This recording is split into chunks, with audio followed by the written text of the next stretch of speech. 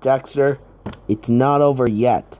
There's still the droid control ship, and Alphys and my friend Bendy is still trapped in there. Uh-oh. Where are we? We're inside a droid factory. My name's Bendy, by the way. What's we do? I don't know. We have to get out of here. Wait a second. You're a scientist. You're, you're right. Uh, if I can just... Wow!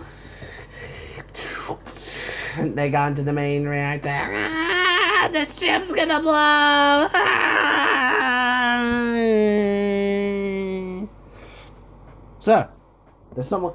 Someone destroyed the main ship. Who did it? It was a dinosaur, sir. A monster? Yeah, like one of us. Alphys. She did it.